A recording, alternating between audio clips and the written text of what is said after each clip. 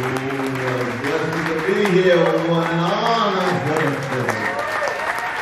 CAIR Orlando, Florida. Oh, there's a sweet spirit in this place.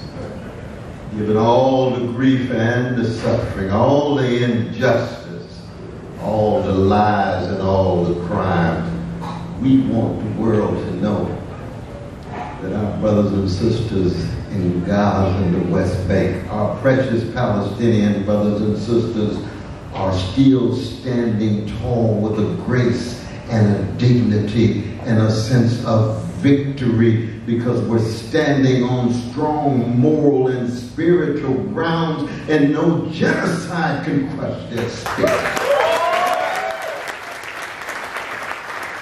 No ethnic cleansing, no apartheid-like conditions can crush their spirit. So I want to salute each and every one of you. My dear brother Imam Abdullah, he just has such a brilliant mind and a lovely spirit, doesn't he? Give it up for this brother.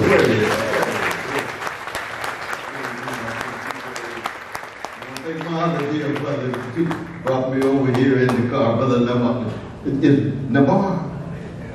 Not here. Give it up for my dear brother. Some years of blessing to see. But anytime I get a chance to spend some time with my Muslim brothers and sisters, it puts a smile on my face. And you say, how can that be for a black revolutionary Christian like myself? What is it about these prophetic Muslims that buoys up my spirit? And of course, I know I don't exist without Malcolm X. I don't exist without Muhammad Ali. I don't exist without Naima Coltrane, who was the first wife of John Coltrane when he decided to leave jazz and work for the post office. She said, no, John, Allah has something for you to do, a calling for you pick up that saxophone and keep playing something. You might be able to produce a love supreme. You might be able to produce an after the rain. You might be able to produce my favorite things that can touch the souls of unsettled, the minds of every person who has a heart and a soul, not just in America, but around the world. And I haven't even gotten to Clara Muhammad yet. I come from a great black people who have deeply shaped my own sense of who I am, who were Muslims, black Muslims, Islamic brothers and sisters on the chocolate side of the city and the state and the country. Yes.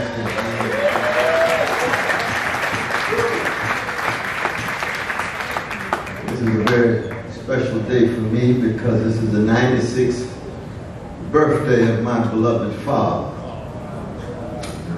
And he passed exactly the same year that this grand institution was founded. This, this, institution was founded was it June 1994. Is that right? Yeah. Am I right? Yep. June 1994. Yep. Sister Mark say yes. Oh, oh, oh, oh yes. All right. It was 30 years ago that we prepared for his transition. I will never, ever be one half of the human being and man that my father was. Clifton Lincoln West Jr. Or my mother was Irene B. West. She died three years ago. Well, why is that crucial? It's crucial because I'm spending the day with you all. That's what's beautiful about it. To be able to revel in the spirit, the geist, the esprit of each and every one of you on this particular day for me. And let us be very clear, let us not be deceived that we are living in an unprecedented moment in the history of this country. A distinctive moment in the history of the American Empire. There's been roughly 70 empires in the history of the species. America is number 68. And every empire comes and goes and usually tends to undergo unbelievable decay and deterioration with military overreach. We've got 800 military units around the world, 130 special operations in over 100 com- countries. Corruption of elites across the board, not just political elites, but professionals themselves creating narrow, thin cultures of conformity and complacency and cowardliness and reducing moral and spiritual greatness to just worldly success. So simply about fame, it's simply about material toys, it's simply about status, and you lose sight of what it really means to be morally and spiritually great. To be rooted and grounded in a calling and a vocation, not just a career and a profession. We heard it the other day in Chicago when I heard my dear sister say the greatest story ever told is the American story. Well, let me tell you, as a black man who's been here 12 generations, there's some wonderful things about the country there's some magnificent individuals in the country, but the American story is not the greatest story ever told. At all. That's pure idolatry. Of course, for me, greatest joy has to do with a Palestinian Jew named Jesus. For all my precious Muslims, it has something to do with a messenger from Allah that tells us to be of service to others that tells us to have a vertical relationship with a God, and that God is a God and only God, and no other gods shall come before that God. And the notion just to be the greatest privilege in America. It's wonderful to come to America. There's a whole lot of places where people are having a difficult time, and you come here, and of course, we ought to be glad to have folk who get here, but don't think that being American is the greatest privilege. No, the greatest privilege of being human is to love and be loved. And that can take place in Ethiopia, Guatemala, Brazil, Haiti, Cuba, Congo, or Sudan. And Gaza and West Bank too. You can't crush that love. You can't crush that relationship to God. You can't crush that courage. You can't crush that unbelievable sense that the present will not determine the future. That the worst of the present will not determine the future. That some greater power is impinging on the present that allows us to straighten our backs up And as Brother Martin Luther King used to say, anytime oppressed people straighten their backs up, they're going somewhere because folk can't ride your back unless it's bent. You got many. Yeah, I come from a black folk who have been hated for 400 years. Still taught the world so much about love and produce love warriors every generation. And being a love warrior means what? Staying in contact with the humanity of people across the board. I don't care what color. I don't care what gender. I don't care what nation. I don't care what country. Made in the image and likeness of a loving God. So there's a human connection there. So when you talk about unity, you talk about solidarity, there's got to be some moral and spiritual grounding of each and every one of us and other people so that we, we don't find ourselves caught up with the idols of the world, or as one of the great geniuses who comes out of Florida named James Weldon Johnson with his brother Rosamond Johnson, who wrote the Negro National Anthem, the anthem of my own black people, lift every voice doesn't say lift every echo.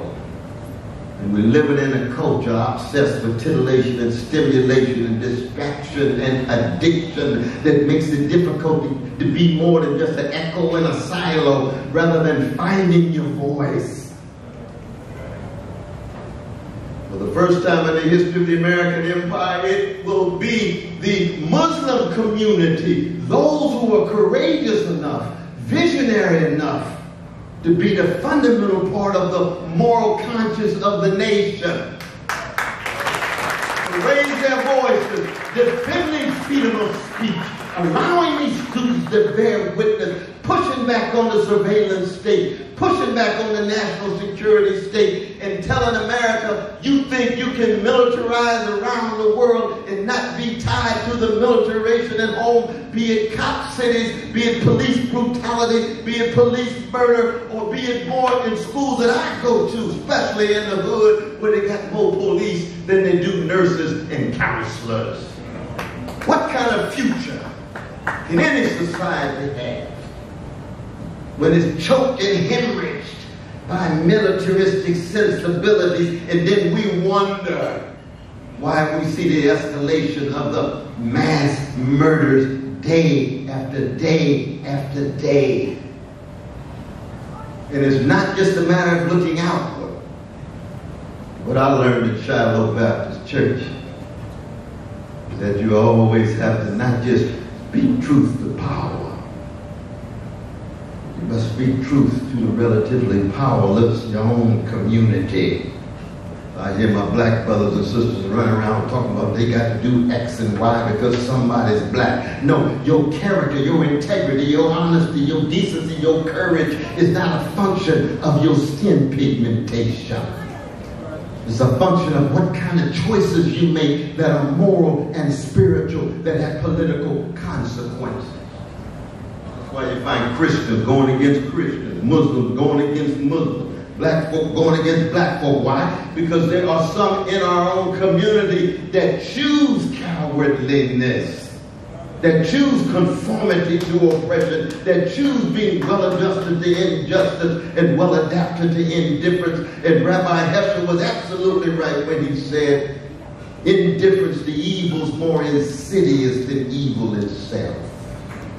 It creates a whole culture, a whole way of being. If you can turn your back on people who are vulnerable, who are being crushed.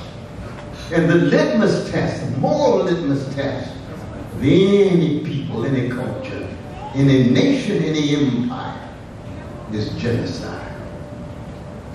You can't pass that test, then there's a good chance that you're going to be a colossal failure of dealing with other forms of injustice and other forms of crimes against humanity. And of course, in the history of this country, we got our precious indigenous brothers and sisters who remind us genocide.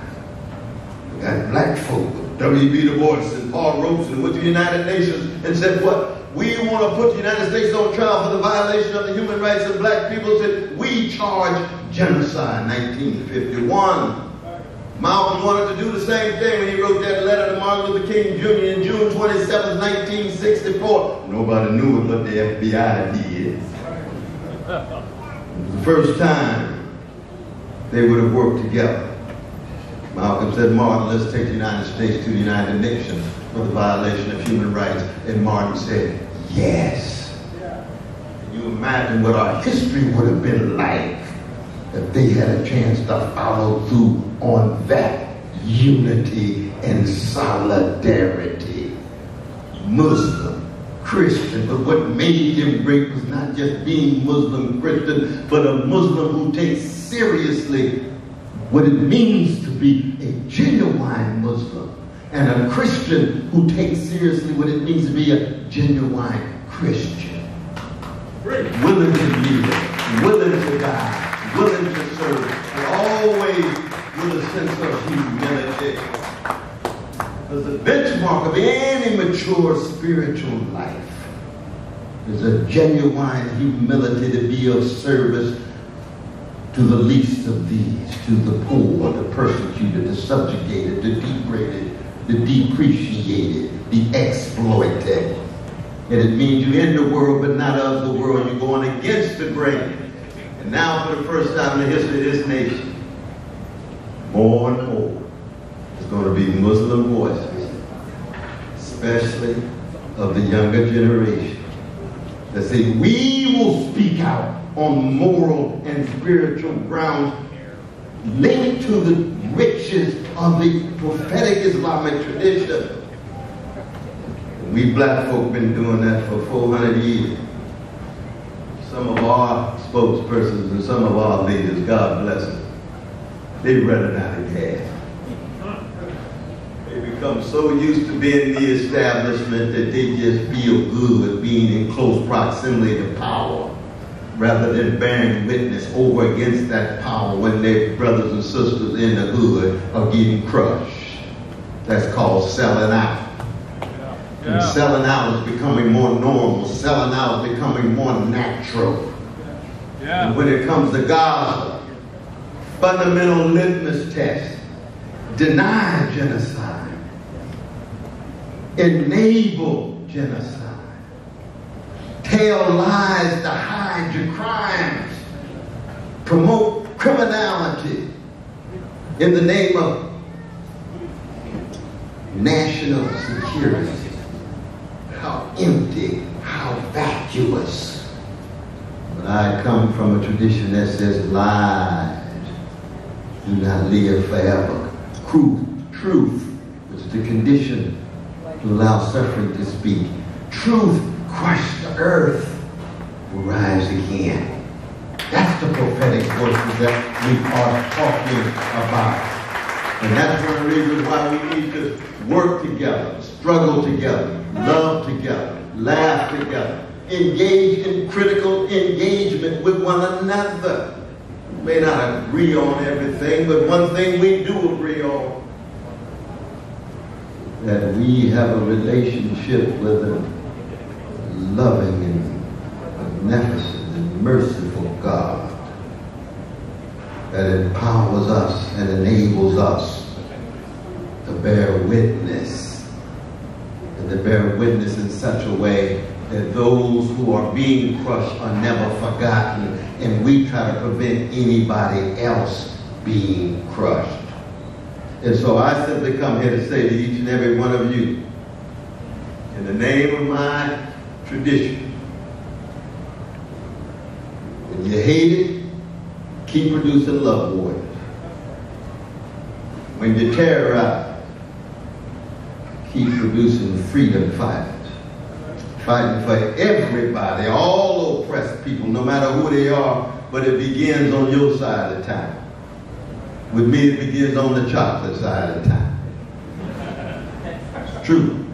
I can't love black people, I can't love nobody else. You a Muslim, you can't love Muslims, you're going to have a difficult time loving Christians like me. But being grounded with R-O-O-T-S in the right way gives you a access to a R-O-U-T-E-S, your spiritual and moral routes that you take that embraces all of humanity in its deepest forms. So be not discouraged. Be encouraged. Be of great courage. And all the other religious virtues are enabled by courage. Allah does not call cowards. God does not solicit cowards. You've got to be willing to step out on nothing and land on something. That's what faith is. And we do it together, we go up together, we go down together, we pray together. And I'm a hang loose Christian, so I spend a little time in the nightclubs. We dance together. I know I got some Muslim brothers and sisters. I might not see you there. Pray for me. Pray for me. I take Jesus with me, just like you take Allah with you. That's what is so crucial in this moment. So whatever comes at us from the powers that be, from Tel Aviv to New York to Chicago to Tallahassee, they will not have the last word. Not at all. As long as we continue to be united and full of power. Thank you so very much. Stay strong, CAIR, Orlando, Florida.